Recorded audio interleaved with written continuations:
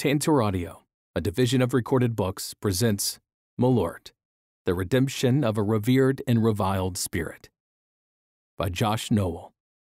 Narrated by Brandon Pollock. Prologue Malort is a punchline, an endless punchline. It has been described as tasting like a forest fire if the forest was made of earwax, and burned to vinyl car seat condensation. It has been called hairspray end death, akin to swallowing a burnt condom full of gas. The actor and writer John Hodgman famously said Malort tastes like pencil shavings and heartbreak, as if flavored with darkness and pain. Hodgman would bring a bottle to his stage shows, take a swig, send the bottle around the room to an unsuspecting and soon to be horrified audience, then drink from it once again. He'd brag the stunt never made him sick. Whatever was in Malort killed every germ. The helpless, pained contortion that accompanies a first taste of Malort is affectionately, or maybe not so affectionately, known as Malort face. The shock and brutality are immortalized in countless photos and videos across the internet. More than one journalist has turned to Malort for a quick and amusing tale. Ten top New York sommeliers try Malort, where the punchlines write themselves. It's making me grind my teeth as if I'd had 26 shots of espresso. Writers have long wrestled with Malort's allure, whether sneering, Malort is the worst booze ever, and you need to try it. Diplomatic, why this off putting Chicago novelty liquor is so damn special, or quizzical, Malort, sin against God, or actually, kinda good. Yet, lurking in the horror and the mockery lies the truth of Malort, and one of those New York sommeliers stumbled upon it. This is actually painful both to smell and taste, so bad that I keep going back, hoping to see if it gets better. The truth is this we keep going back. For nearly a hundred years, we've gone back. In a car heading home from the airport one fall afternoon in 2022, I asked my driver, a friendly guy in his early 30s named Jordan, a question. Have you heard of Malort? His response was swift and emphatic. It's the worst liquor I've ever had. Then, as we zipped along Chicago's Kennedy Expressway in Jordan's maroon RAV4, he told a story. The first thing he legally drank in a bar, surrounded by friends on his 21st birthday, was a shot of Malort. His pals took him out, and the bartender didn't hesitate to do what a Chicago bartender does. He handed Jordan a rite of passage shot of Malort, on the house, of course. Jordan slugged it down, his friends cheered, and then he understood the shock, the horror, the fascination. Now Jordan shares the wisdom. When he's driving tourists, especially younger visitors asking about bars to check out, he makes a point of urging them to try Malort. He doesn't say much more than that. He wants them to discover it as he did, for better, for worse.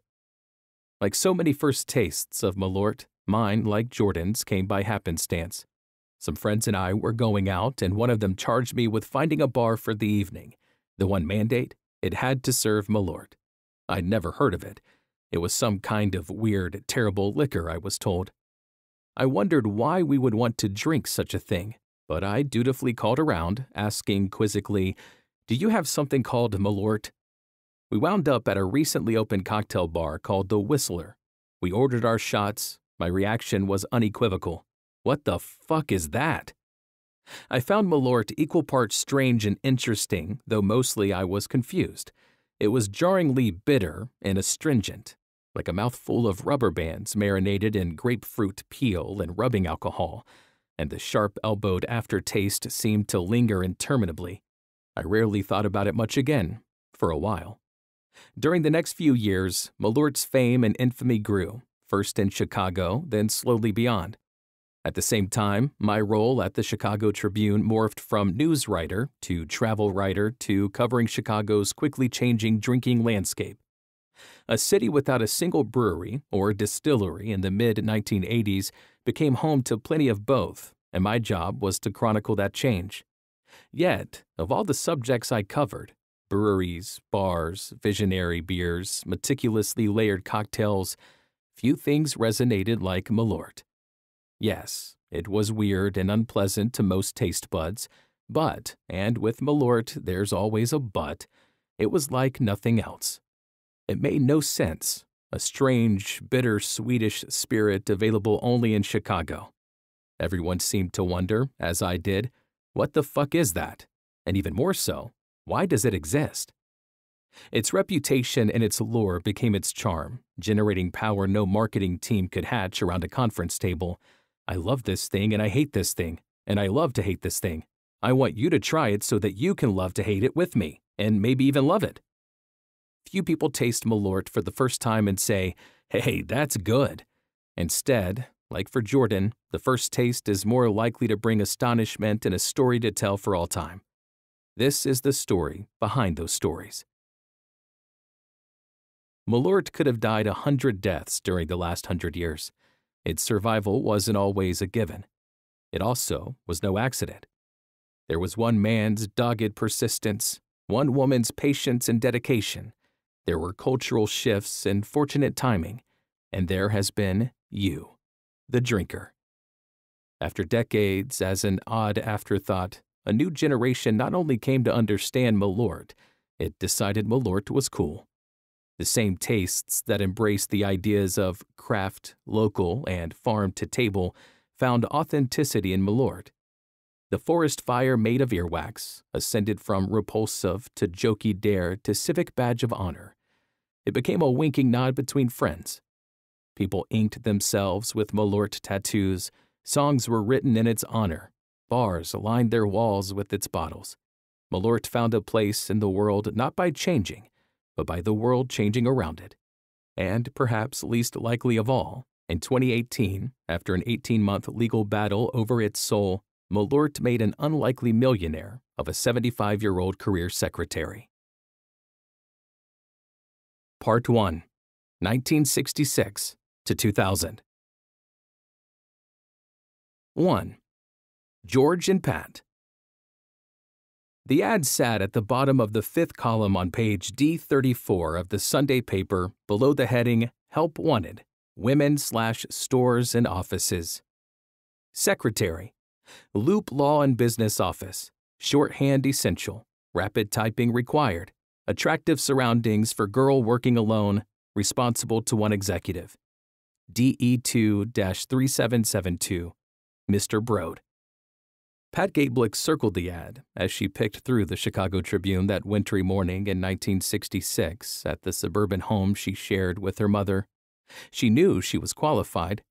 Pat was 23, a working class girl from Cicero, a town along Chicago's western edge packed with factory workers and mafiosi. Her first job after high school was at an architecture firm in downtown Chicago as secretary to one of the vice presidents. Her boss tested her shorthand during the interview by talking at a normal speed, then increasingly quickly. Pat kept up, no problem. That skill was the rare good thing to come from high school. Pat learned to bang out 120 words a minute and scratch furious notes. Morton East High otherwise felt like a trite and confining four years, something that existed only to move past. When she was done, Pat never wanted to see the inside of a classroom again. Most girls Pat knew planned to go to college or to marry as soon as they could. Neither was for Pat. She was ready for adulthood, to make her own money, live on her own, socialize in the bars, flirt with some boys. She'd settle down eventually, have kids, and tend to the house. Until then, she'd enjoy herself, especially in those bars after work. Her first drink was at 16 at a Christmas party hosted by the Savings and Loan where she worked part time. Rows of martinis and Manhattans lined the bar, and when no one seemed to be looking, she grabbed a Manhattan. She put the sweet, boozy rush to her lips. She was sold. Weeks after graduating high school, Pat began commuting to downtown Chicago's clatter and hustle, earning $75 a week. She stayed in the job four years until her family moved to a suburb 10 miles farther out. Pat went to work for a bank close to her new home again working as a secretary for a vice president. She quickly grew bored. She felt too young to be in the suburbs all day. She wanted to be back downtown, back in the action. She briefly took a job at Automatic Canteen, a company that made vending machines, but that didn't work out. So here she was, looking again. Pat called the number. She asked for Mr. Brode. George Brode told Pat about the job. He was a lawyer, he said, representing business interests mostly. He worked alone. It would be just the two of them. A small office didn't appeal to Pat, but the location did 201 North Wells Street, a 28 story skyscraper also home to the architecture firm where she worked months earlier. She already knew plenty of people in the building and would have ready lunch dates and post work drinking companions. She and Mr. Brode agreed to an interview. Their meeting didn't instill much more enthusiasm for the job. George's 14th floor office was dim and dated, wood paneling affixed to the walls, and a leather bound door separating his office from the reception area where Pat would sit. George seemed impressed by it all. Pat just saw tattered carpet and sagging furniture. George himself was similarly unspectacular, balding, bespectacled, thin lips beneath a thick nose, a round, well fed face. He was stocky, neither fat nor thin, and stood a couple inches shorter than Pat, who wasn't terribly tall herself. He was 56 years old and, to Pat's eye, yet another middle aged man in a suit in downtown Chicago. He welcomed Pat into the office and took a seat behind his desk. He'd been working when she arrived and didn't stop for the interview. He continued scribbling across a pad of paper, rarely meeting Pat's eye. It annoyed her. He was brusque in his questions and his answers. That annoyed her too. It was a short conversation, and George said he'd never hired a secretary so young, but he offered the job anyway. Pat accepted. A few days after starting, George told Pat something he'd nodded to in the job posting but didn't mention during the interview. He wasn't just a lawyer, he also owned a small business, a liquor company that was in fact a single brand Jeppson's Malort. Two weeks later, Pat quit. She didn't like the job, too much filing, and she wanted other people around, other women her age. Certainly someone besides this man old enough to be her father. George didn't pay well, and it turned out he lied to her. The elevator operator told Pat that George had indeed hired secretaries her age. She figured he was just trying to drive down her salary, so she quit. Jobs weren't hard to find, especially with her skills. But George had trouble keeping secretaries. He'd advertised for one at least twice the previous fall. He didn't want to look again. He offered Pat a raise to stay. She stayed 33 years. Even in the 1960s, Malort was a punchline. No one was in on the joke more than George. Can a panty waist drink Jeppson? read a page two newspaper ad on a Saturday morning in April 1967. Not twice. The ad, like all Malort marketing, sprang from George's restless mind. The law paid the bills. Jeppson's Malort was his passion.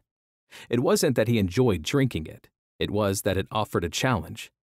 In a world of whiskey, gin, and vodka drinkers, Malort was the nichest of niche liquors, Swedish in origin and obscure even in Chicago, the only place in the United States it was made and sold. Malort was an otherworldly shade of pale yellow green, bitter, dry, abrasive, and to most people simply undrinkable. One Christmas, George gave a bottle to the elevator operator at the office. The elevator operator seemed confused by the gift the next time he saw George, unsure whether to thank him. For all its quirks, Jeppson's Malort was a simple product grain neutral spirit, vodka essentially, aged on wormwood, a fragrant herb native to Europe, Asia, and North Africa. Wormwood grows in small, shaggy bushes with long, straight stems sprouting small flowers and silver tinged leaves that can be poisonous if ingested able to disrupt the nervous system or even kill. Yet in small amounts, humans have put wormwood to good use for millennia. Rubbed on the skin, its toxicity makes for a handy insect repellent. Its antimicrobial properties have been used to treat parasites, cancer, upset stomachs, cramps, and surgical wounds. Its brash, herbal bitterness has made it a wrinkle of alcoholic beverages for centuries, including vermouth, where it mingles with wine, herbs, spices, and a distilled spirit to create an ingredient crucial to generations of cocktails, martinis, Manhattans, Negronis, and beyond. In Sweden, wormwood is known to protect clothes from hungry moths. Mal is the Swedish word for moth. Ort means herb. The Swedish word for wormwood? Malort.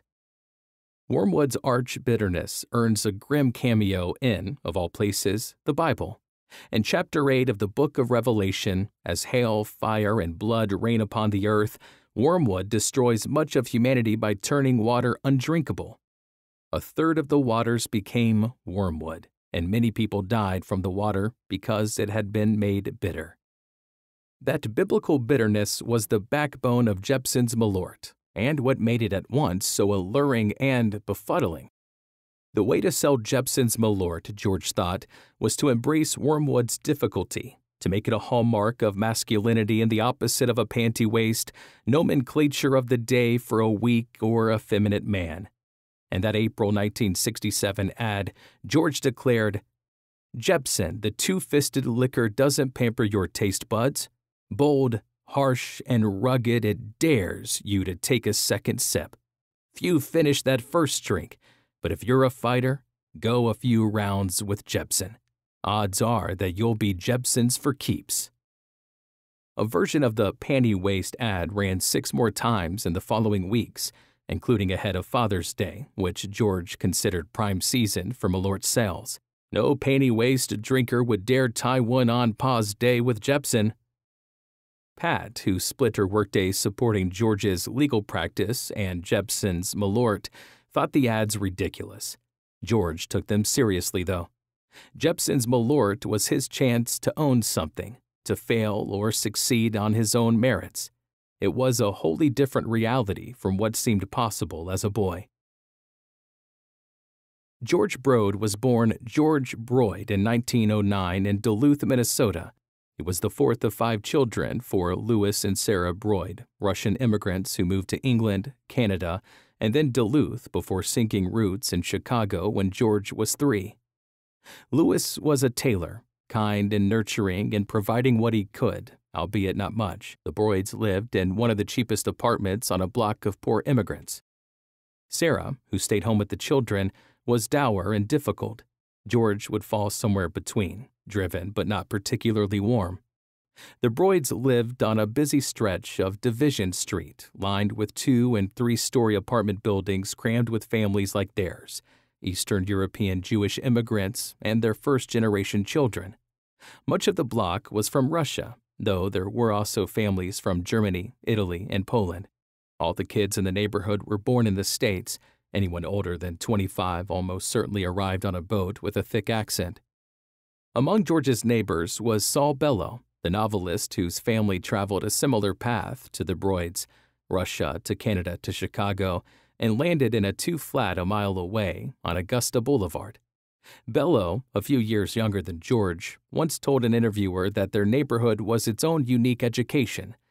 The streets were freedom to us when I was a kid in Chicago.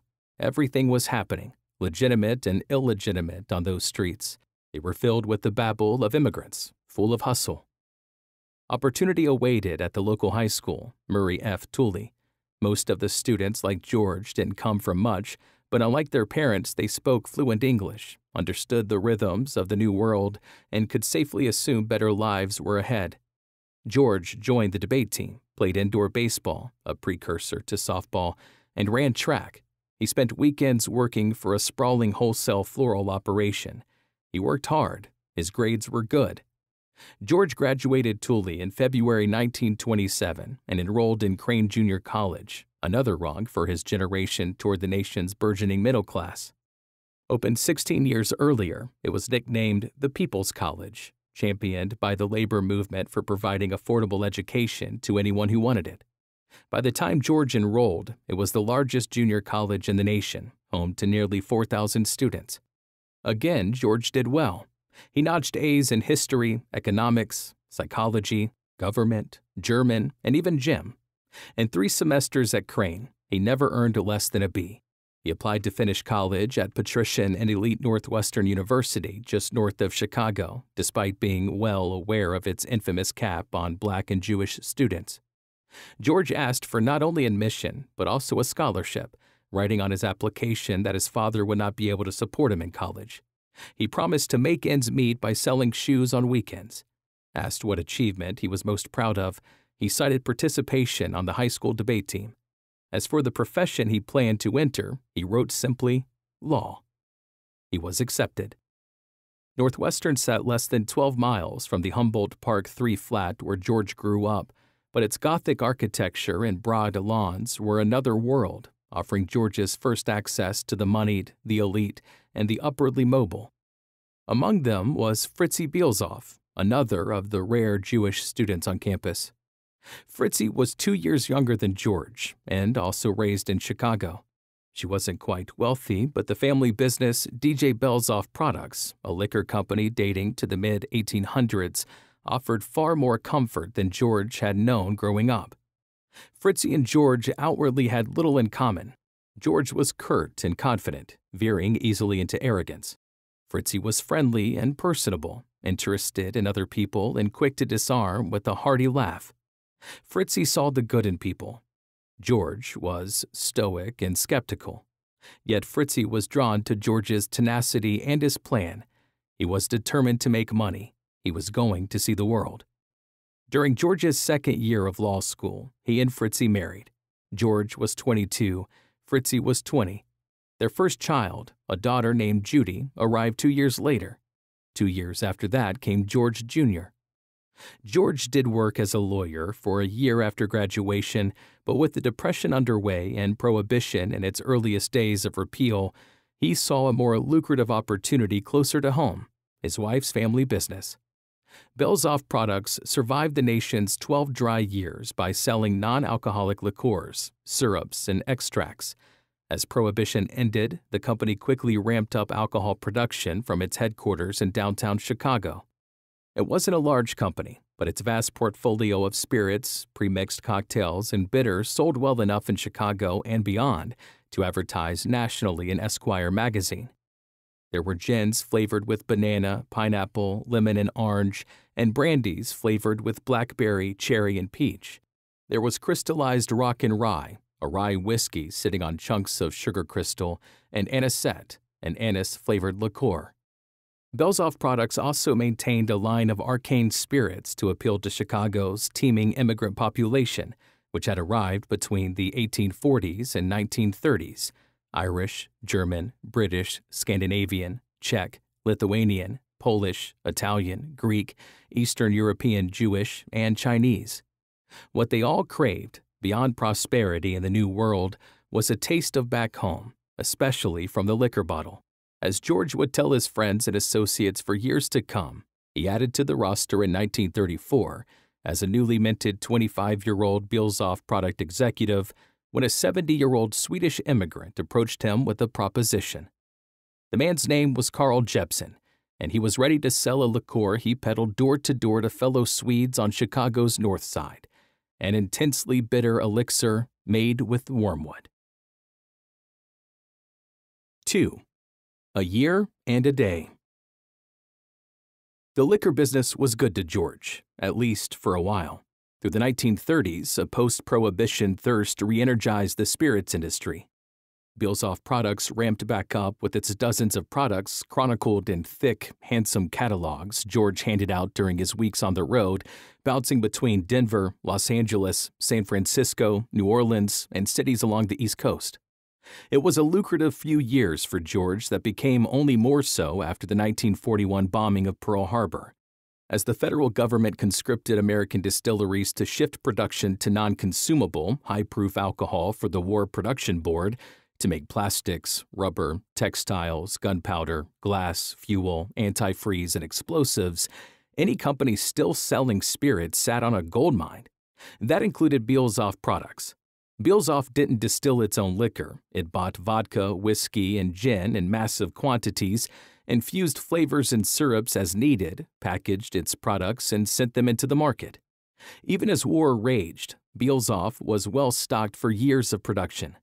George Broyd became a rich man. He used his wealth to dive deeper into the industry.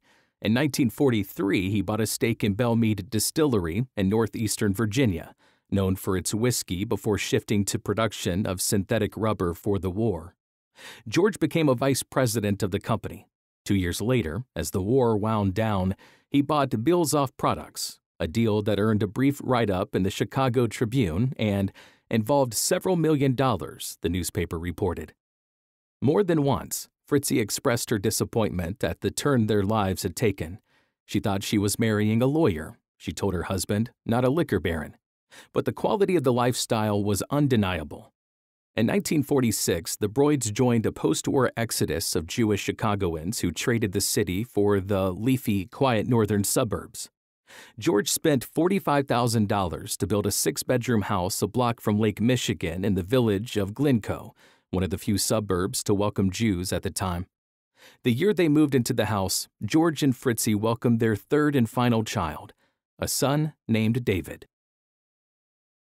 George's rise into society's upper crust came to a swift end on a Tuesday morning that December, when the seemingly law abiding rags to riches liquor mogul was indicted by the U.S. Justice Department.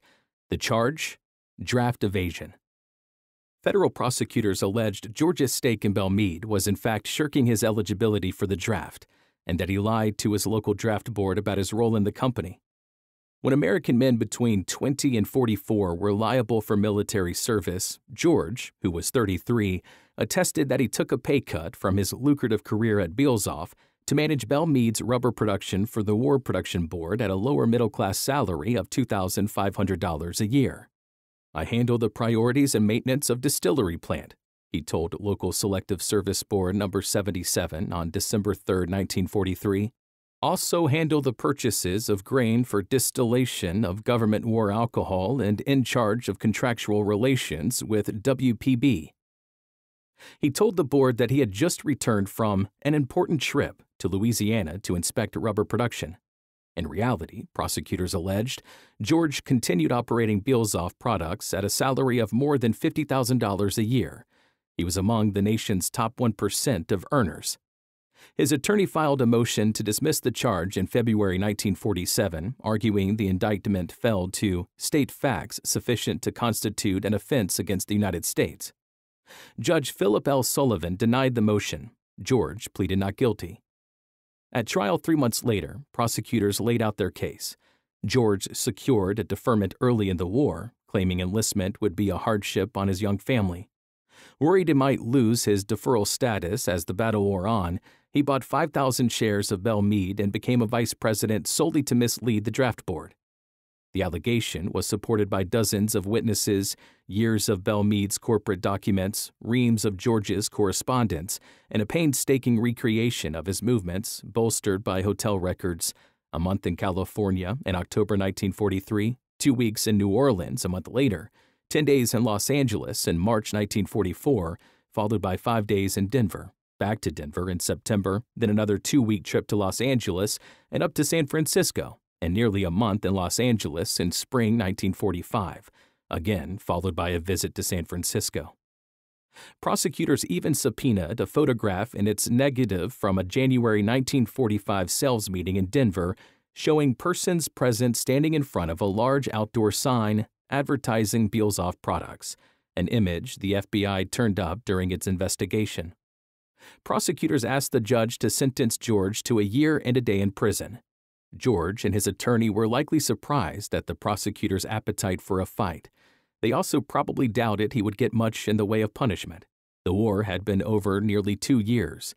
George was a productive and respected member of society. He was a lawyer, a father of three. He changed his plea to guilty, gambling on the judge's sympathies. His lawyer choked up as he pleaded for clemency asking for George's chance to make his contributions to society. Otherwise, he said, George's life would be in shambles. The argument and any assumptions about the judge's leaning backfired. What makes this more serious than the ordinary case under the ordinary circumstances is the education of this defendant, plus the fact that he is a lawyer, Judge Sullivan told the court.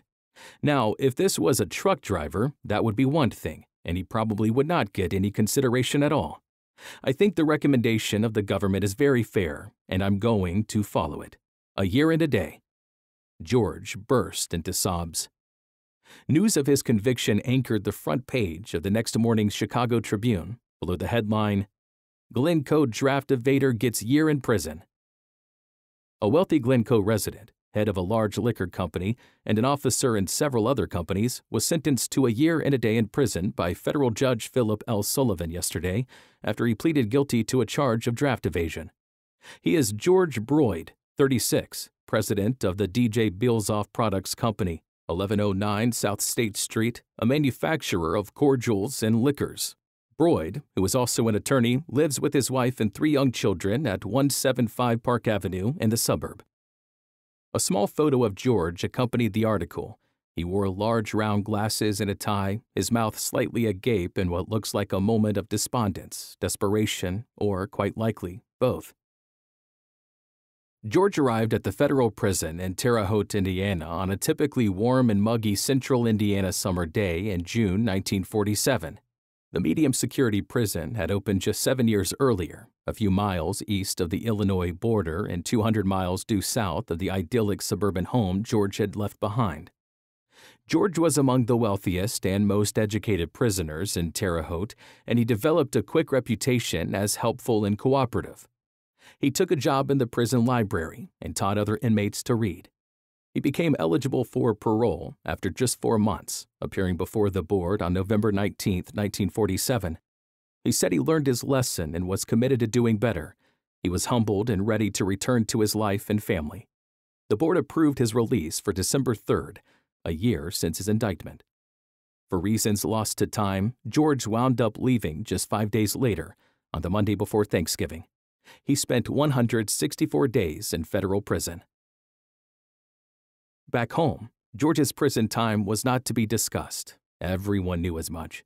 His youngest son, David, a toddler when George went to Terre Haute, only learned it had happened 20 years later while home from college and shooting pool with his uncle in a dive bar on Chicago's North Side. The revelation floored David, not only the fact of it, but also that it was kept from him for so long. His mother never told him, his siblings never told him. George's conviction, he realized, was a quiet shame hanging over the family. David asked his mother about it. She told him, yes, it happened, but his father knew it was a mistake, the punishment was brief, and George did right by tutoring fellow inmates. George didn't embarrass easily, but David knew not to ask about it. The question would have enraged him. George was discharged from parole on June 13, 1948, a year to the day after arriving in Terre Haute. The episode changed him. It sapped some of his joy, muted his optimism. He was never carefree or emotive, but after prison he only became more reserved, often polite but rarely kind, an introvert who went to bed early and woke up before sunrise.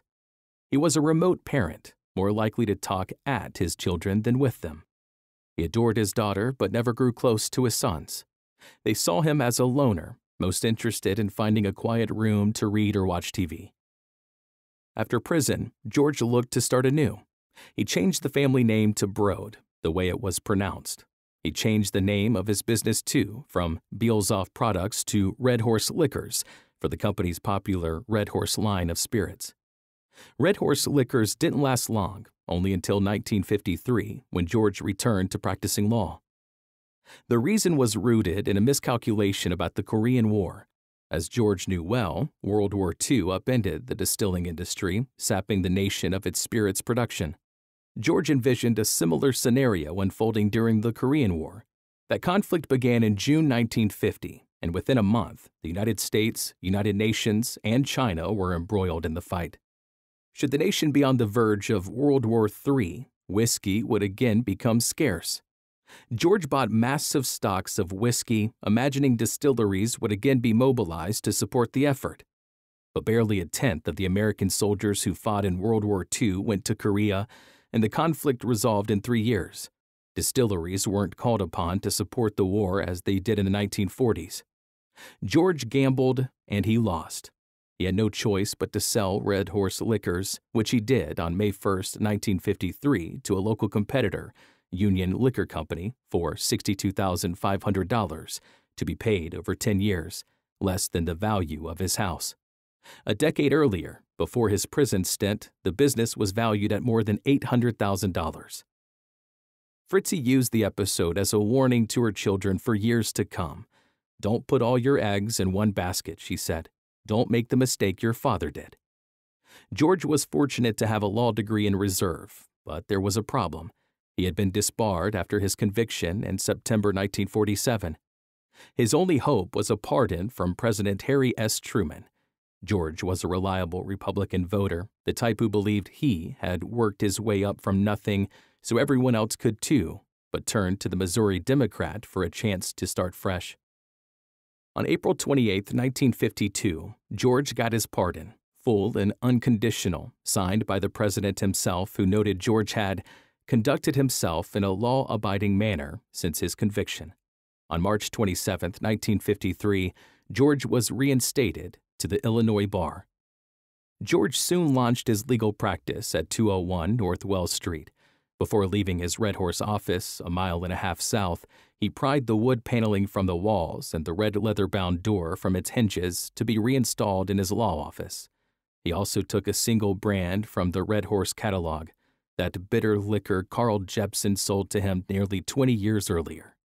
Even before selling Red Horse, George renamed what Carl likely called Jeppson's Malort Brandvin, Jeppson's Wormwood Liquor, and plugged it into the Bielzoff visual identity with a pale yellow-green label that appeared to be peeling at the edges, adorned with an elaborate crest, three five-pointed stars angled on a white stripe hugged by pale blue, sitting in a medallion of curves and lines topped with a crown. Below was George's new name for the product, invoking the elderly Swede who sold it to him. Jeppson's Malort Liqueur. Swedish type Brandvin, made from the imported Swedish Malort plant, formula of Carl Jeppson. He could have kept a brand more ordinary and obvious, something easier to sell, like creme de menthe or crystallized rock and rye. Where would the fun have been in that? The world changed around him. George didn't change much with it. He loathed the counterculture movement of the 1960s, and when his son David showed up from college with long hair and a beard, his father told him he couldn't stay with the family, and he followed through. David graduated in 1968, locks still stringy and beard still flowing, as the Vietnam War raged and riots roiled American cities. Congratulations, George told his son after commencement. He pulled a $250 check from his pocket and ripped it in two. Father and son didn't talk much for the next 20 years. George didn't want to leave the family's suburban home, but as the kids moved on, his socialite wife preferred to live along Chicago's booming lakefront, where many of her card playing friends settled after raising children. George sold the house in Glencoe for $82,000 and bought a two bedroom condominium on the 24th floor of a spacious new high rise overlooking Lake Michigan at 3150 North Lakeshore Drive. It was the pinnacle of 1960s era urban luxury, advertised in local newspapers as a 36 story crown jewel of the lakefront, replete with doormen, a swimming pool, and central air conditioning. George and Fritzi's kitchen was small and their two bathrooms tiny, but a large living room offered broad lake views and an ideal space for Fritzy to host friends. George missed suburban quiet, but used his new base to explore the city. He rode the bus down Lakeshore Drive to his office each morning, then walked home four miles in the evening, no matter the weather, passing a string of neighborhood bars that kept him thinking endlessly about how to sell Jeppson's Malort. 3. The Horny Handed Male Artisan George's career as a liquor executive was down to one strange and polarizing product. And the way to make it thrive, as much as a strange and polarizing product could thrive, was something that had long been true in the alcohol business and would be true forever always be selling. He did it when he owned dozens of brands, and he did it now selling not only Jeppson's Malort, but also the idea of Jeppson Malort to the bartenders, the shop owners, his army of distributors, and of course, Chicago's drinkers. Each was a unique audience, and George had to speak to them all. At larger companies, teams of marketers and salesmen handled such strategies. At the Carl Jeppson Company, newly formed to house Jeppson's Malort after the demise of Red Horse Liquors, George was the company. He thought it particularly important to woo the customer, and it was a golden age for doing so. The economy had recovered after World War II, and a housing boom was on. Americans were feeling good. They were drinking, and drinking a lot. They were ready to spend. The spirits industry was in the middle of a self imposed 60 year ban on television and radio advertising, but no matter, weekly magazines and daily newspapers reached hundreds of millions of readers. Seagram's, Johnnie Walker, and Jim Beam, which hired no less than 007 himself, Sean Connery, to cradle its bourbon, were staples of mid century print advertising.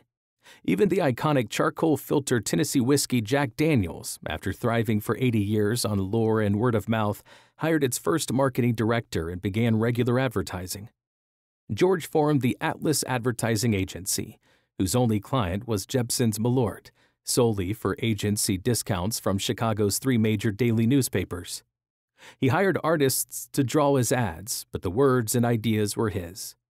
George's mid 1950s marketing approach was cautious and conventional as he wrestled with making Malort make sense to a mainstream audience. He also began a stretch of about five years in which he dropped the word Malort from the name of the product, referring to it solely as Jeppson. He tried positioning it as a fine liquor appreciated by mature drinkers and discriminating tastes. In one ad, he compared it to, of all things, green olives. Remember the first time you tried green olives? I'll bet you said just as I did, how in the world can people eat this bitter, pungent fruit, much less be wild about it? Like me, you found out. Your second green olive tasted a little better. With your third, you were hooked for life. Come to think of it, most discriminating tastes in food olives, lobsters, oysters, watercress, clam chowder they're all acquired tastes. And so it is with Jeppson.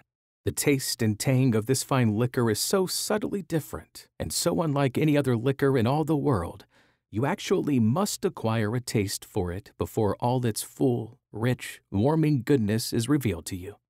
But then, ah, nothing can replace Jeppson when you seek the ultimate in relaxed imbibing. Still not ready to tout its intense bitterness or to declare it bold, harsh, and rugged, as he would 10 years later, George embraced Malort's dryness, which he used as a springboard to invent two cocktails the Stockholm, a Malort Manhattan, and the Pepper Upper, a Malort Martini. The Stockholm, he said in table tent advertisements given to bar owners with the hope of catching the wandering barfly's eye, was the world's driest dry Manhattan. The Pepper Upper was the driest dry martini ever served. In case either became a sensation, George trademarked both names. He also did the same for a term he would forever attach to Malort two fisted liquor.